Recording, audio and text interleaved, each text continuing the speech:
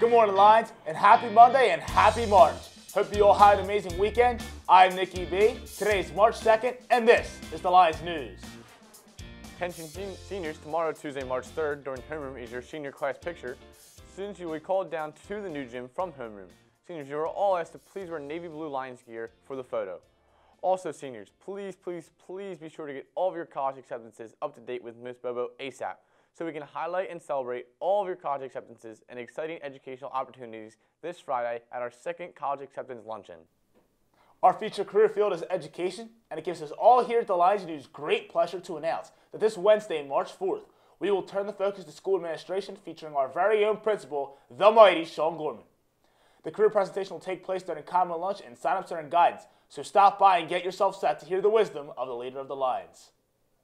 Well, Lions, while African American History Month has come to a finish, we here at the Lions News encourage all of you to continue exploring the contributions of African Americans throughout our country's history. While we try to expose you to some of the most iconic figures, we certainly hope you will look up and discover some of the great African Americans we didn't get to cover.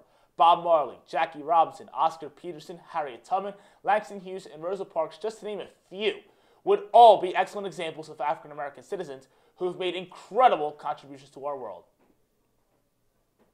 Yearbook ads for seniors can now be physically turned in to be included in the yearbook until Friday, March 13th.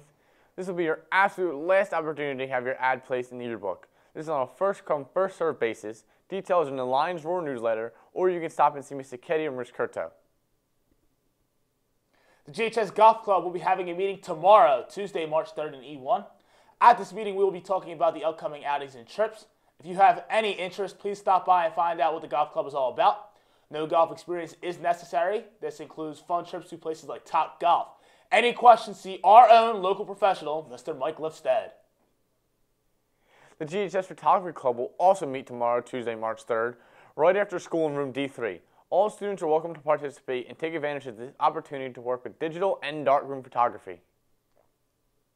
We would like to congratulate the following members of the Lions swim team who were recognized as second team all conference. Thomas Billings in the 100 butterfly and his younger brother Wade Billings in the 500 freestyle. There are no birthdays this Monday. However, on Saturday, yep, on leap year, River Atkinson had a birthday. We hope you had a great day, River. Happy birthday, and we will give you another shout out in four years. Today's lunch special is egg and cheese on a bagel with Napoleon's favorite, tater tots. All right, Lions, it's a new week and a new month, and spring is right around the corner. So, what are you waiting for? Get out there and make it happen. And as always, go Lions.